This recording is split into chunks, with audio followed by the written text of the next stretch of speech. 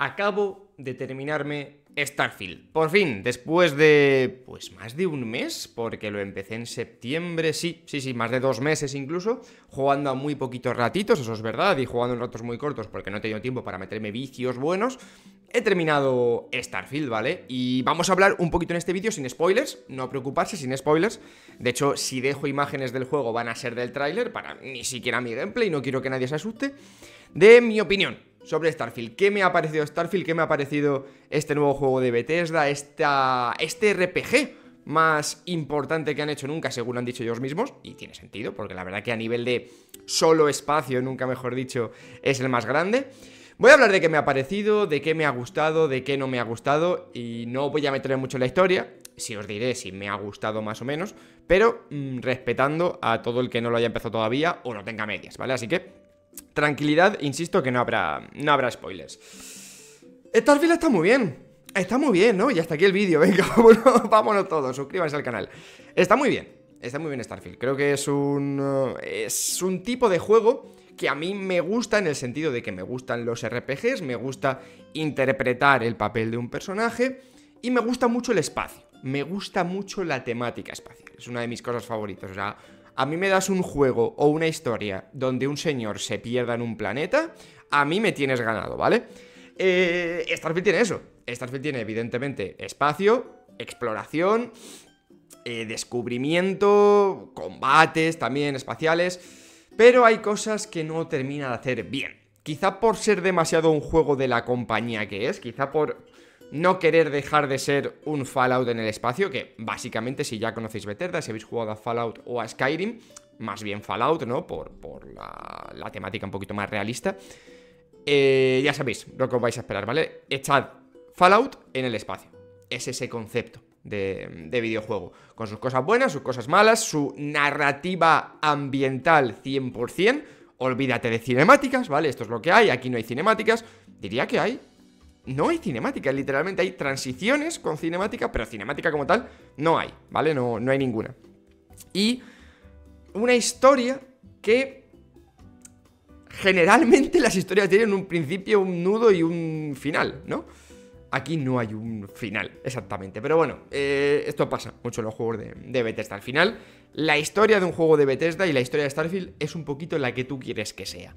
Que eso es bueno porque te permite hacer muchas cosas y sentir muchas cosas, pero a la vez no ves una conclusión y a veces eso te puede frustrar un poco. Pero esto sería a nivel narrativo. A nivel de juego, gráficamente me ha parecido tochísimo. Es verdad que lo he jugado en ordenador muy bueno, muy bueno. Y lo he, ido compaginando también eh, partidas con la ROG Ally, ¿vale? Que es esta consola portátil de, Asus que, tengo, es una maravilla. Y he ido jugando a ratitos, ¿no? En una consola o en otra, más o menos eh, tal. Así que de potencia no, no me he podido quejar. En la ROG Ally, evidentemente, pues he tenido que jugar con gráficos en bajo. Y aquí en el ordenador he jugado todo en ultra y todos los FPS que daba el ordenador. Por ahí no tengo quejas. Sé que en Xbox el juego está a 30 frames.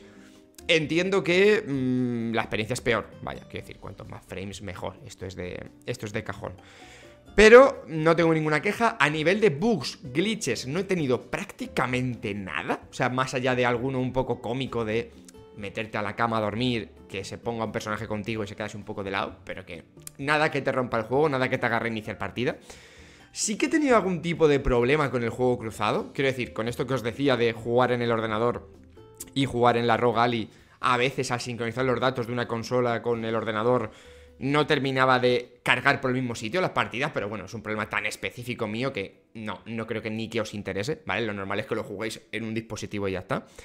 Pero eh, a nivel gráfico, insisto, perfecto, no tengo ninguna queja. De hecho, me parece muy bonito el juego, tiene paisajes muy bonitos, los interiores son una locura, los personajes no.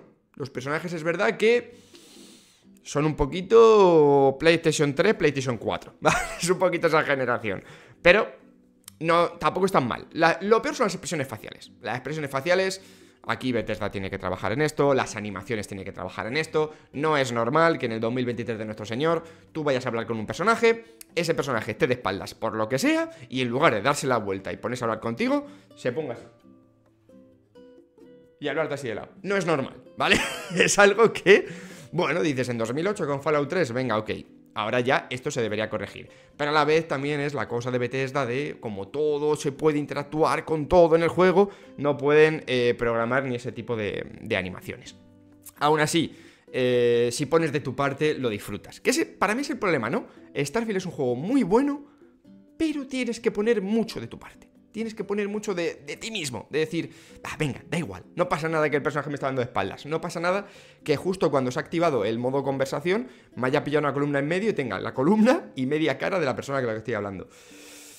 Tienes que poner de tu parte. Si es verdad que hay cosas en las que me ha costado poner más de mi parte. Y voy a los diálogos, la interacción con los NPCs. Los diálogos por defecto, genial. ¿vale? Genial, o sea, más o menos te, meten en la historia, son coherentes, tienen sentido y te permiten rolear, que al final es la gracia de este juego. Yo he roleado de un personaje que además era full diálogo. Yo me he puesto un personaje súper diplomático y mi objetivo era resolver todo tipo de conflictos con diálogo. Primero de buenas, luego si no podía de malas, manipulando un poquito, y ya en última instancia sacar la pistola. ¿Vale? Me he puesto muchas stats de diplomacia, de persuasión, de intimidación, incluso si hacía falta, de trajes aposta para tener más puntos de, charla. O sea, he ido por eso, he querido rolear de una, de una persona diplomática, de un político, ¿vale? para, para, lo bueno, para lo bueno y para lo malo. Y luego ya pues si había que sacar los disparos, pues se sacaban. Que por cierto, a mí el sistema de disparos me ha gustado bastante. Las armas que he ido probando me han gustado. Es verdad que he dado con algunas armas muy rotas desde el principio. Y me han dado igual el resto que me iban dando durante todo el juego. También me pasó con el traje, que hay un traje justo en la zona principal del juego, en el hub central, eh, en la logia, vale, no pasa nada, lo vais a descubrir a la media hora de juego. que yo bajé y no sé cómo lo hice, no sé si fue un bug. Cogí el mejor traje del juego desde el principio, ¿vale? Que está encerrado en una. En un escaparate, que supone que tienes que ser mm, habilidad maestro para desbloquear. Yo no sé cómo lo hice, pero yo lo cogí de primera, sin hacer nada raro, ni robar ni nada. Me lo equipé y desde el principio del juego llevé el mejor traje. Entonces, todos los trajes que me dan decía, está guapísimo, pero es que este es mejor. Pero en los disparos bien, pero lo que os decía, sí que hay un problema, no en los diálogos como tal, pero sí en el sistema de persuasión. Aquí Bethesda ha querido hacer como un minijuego de puntos. De esta, esta respuesta te da cuatro puntos para resolver siete huecos ¿no? de, de, conversación. Se siente muy falso. Se siente muy falso. Cuando tú tienes un diálogo con una persona que, por ejemplo, eh, le estás pidiendo que te deje su llave de seguridad para acceder a un almacén, no tiene sentido que una de las opciones de diálogo sean, eh, bueno, la primera opción de diálogo sea, bueno, vamos a acabar con esta discusión ya. no tiene sentido. Y tú lo das y a lo mejor funciona el otro, y el otro personaje te dice, pues sí, venga, es verdad. No, no te lo crees. Yo entiendo que son muchos diálogos, son muchos momentos de persuasión y no puedes medir todos porque la cantidad de personajes es gigantesca, ¿vale? He hecho bastantes misiones secundarias, no he hecho todas, evidentemente, y he hecho toda la principal, pero hay momentos en los que joder, molaría un poquito de congruencia. Y de hecho, no os voy a hacer spoiler, pero yo el final del juego, el boss final, por resumirlo de esta manera así muy amplia y muy genérica, yo lo resolví con diálogo, ¿vale? Lo resolví con diálogo, o sea, no tuve que sacar la pistola. Y lo que le dije, y me sacó un poquito de la experiencia porque la estaba disfrutando, lo que le dije no tenía ningún sentido, ¿vale? Digamos que la frase que tuve que usar para eh, resolver ese conflicto final sin, sin, dial sin armas no tenía ningún sentido. o sea, tú veías la frase y decía... ¡Ah! ¡Qué rabia! ¿No? ¡Qué rabia! Porque tú, estás interpretando tu personaje, estás tal, pero luego de repente dos o tres diálogos pierden el sentido y tienes que poner mucho de tu parte. Lo que digo, incluso Fallout 3 creo que esto lo tenía mejor, ¿vale? tenía un sistema de diálogo más razonable, en el sentido de que lo que tú decías lo que decía el NPC tenía sentido. ¿vale? Aquí un poco, un poco, un poco menos. Pero bueno, aún así, eh, eh, son detalles, ¿eh? En general el juego me ha gustado. Por cierto, el juego me ha gustado bastante. Pero sí que hay defectos muy evidentes que yo creo que está bien recalcar, que no sé si se pueden arreglar con, parches o simplemente hay que aguantarlos. Es complicado hacer un sistema de persuasión en un juego, ¿no? ¿Cómo mides eh, todos los diálogos con todos los NPCs eh, que tengan frases con sentido? Entiendo que es complicado. La sincronización labial ni hablo, ¿vale? Yo lo juego en español, la sincronización labial es nula, no existe. No sé si en inglés existe, no he probado en inglés. En español es hasta molesto, ¿vale? Ver cómo el personaje sigue moviendo la boca y lleva un rato callado. Es un poco... Uf, pero bueno, da igual. Eh, insisto, tienes que poner de tu parte porque el juego te, te, enganche, ¿no? Después, a nivel de historia, eh, no, sin entrar en spoilers, es verdad que puedes participar en misiones de todos los colectivos, que eso está guay, pero a la vez te evita el implicarte emocionalmente con una historia, aunque entiendo que tampoco mola tener que rehacer el juego entero o tener que pasarte de nuevo para vivir cada historia. Hay momentos muy bonitos, muy emotivos, que no son la misión principal. La misión principal está bien, ¿eh? De la misión principal la he disfrutado, tiene sus momentos, tiene sus eh, trascendencias, pero las mejores misiones del juego para mí son una terciaria o, cuarta, yo no sé ni cómo llamarla, que me surgió con un personaje, con un compañero de tripulación, que de repente te dice, oye, tengo una cosa que contarte, te cuento una historia, es de las que más me ha gustado, y luego otra, que era de una misión secundaria, que además surge de manera muy aleatoria, no, no os voy a decir nada, pero digamos que os tienen que pillar con una cosa, y el final de esa, no tanto la historia como tal, que puede ser básica, sino la intrahistoria de una de las zonas en las que vas con, en esa misión, sí que me, tocó la patata. Y fue, fue muy bonita, ¿no? Una nave, tal. Bueno, no os cuento, no os hago spoiler, ¿vale? Por si queréis, por si queréis jugarlo. Solo diré eh, dos facciones, ¿vale? Por si, por si alguien se ha pasado el juego y sabe, y sabe de qué estoy hablando. Sisdef de las Q y Flota Carmesí, ¿vale? Mm, para mí es. Me ha gustado más que la misión principal, ¿vale? Pero bueno, eh, esta es mi, mi opinión. Después el ambiente es espectacular, eh, ciudades como Neón molan muchísimo, Nueva Atlántida está guapísima, si no fuera porque está rota de FPS, no tiene sentido que en mi ordenador, que todo iba volando, en todos sitios iba volando, en Nueva Atlántida no es que sufriera un poquito, pero notaba como de vez en cuando había un mínimo tirón, y no me lo podía creer. O sea, es, esa ciudad está optimizada Mm, por, por, un mono con platillos, ¿vale? No tiene ningún sentido lo mal que va Nueva Atlántida. Súper bonita la ciudad, pero da asco pasar por ella, como no tengas un ordenador de la NASA, que es mi caso. O porque en la Rogali, por ejemplo, cada vez que tenía que ir por Nueva Atlántida, me hacía viaje rápido. Digo, es que no se puede andar. Es que ni con los gráficos al mínimo mm, subo de 25 FPS. Es terrible, terrible. O sea, Nueva Atlántida está súper mal optimizada. Después, eh, no sé qué más deciros tampoco. O sea, en general me ha gustado. Creo que es un juego muy recomendable. Si te gustan los juegos de Bethesda, te va a gustar. Si te gustan los juegos de temática espacial, te va a gustar. Si esperabas eh, un Mass Effect, ¿vale? Con cinemáticas más cerradas, una historia más, un poquito más lineal, mejor contada, tal. No es eso no es un Mass Effect, ¿vale? Mass Effect me gusta mucho también, pero es diferente. Mass Effect tiene una historia más cerrada, sí que tienes libertad, sí que tienes misiones secundarias para hacer eh, según qué cosas con X personajes tal. Tiene un pelín de Mass Effect en el sentido de los compañeros y la tripulación, pero es otra movida. Es otra movida, es mucho más abierto y mucho menos concreto a la hora de, transmitirte algo. Pero, pero es muy disfrutable. O sea, realmente es muy disfrutable. Hay, ya digo, intrahistorias las que quieras, el cogerte una nave, te baja un planeta, te va a aparecer alguna historia.